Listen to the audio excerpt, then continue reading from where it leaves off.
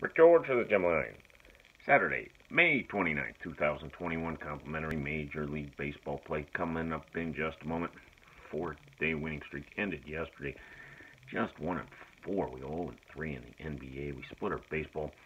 Uh, almost had a two and uh, three day, which wouldn't have been the end of the world. Uh, well, I guess nothing's the end of the world. But we had under in the uh, Padres Astro game, uh, under eight and a half, two to one entering the eighth, two two entering the tenth, three three entering the eleventh, and it ends up ten to three. Uh, we did win on the Oakland A's. Uh, we're back at it today. We've got five big plays, two in baseball, three in the uh, NBA. I'll pass on the uh, NHL card. I do have a free play up on the website in the NHL. That's my best NHL play for today.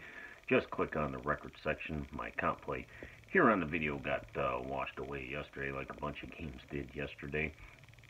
Always good to jump on board. We don't have uh, two real bad days in a row very often, especially in the NBA.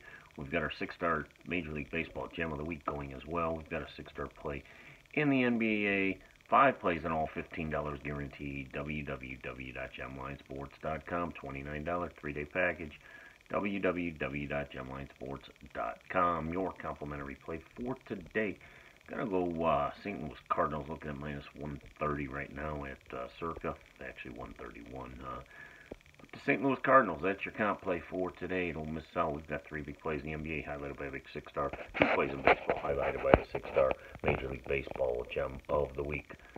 www.gemlinesports.com. Thanks and good luck today.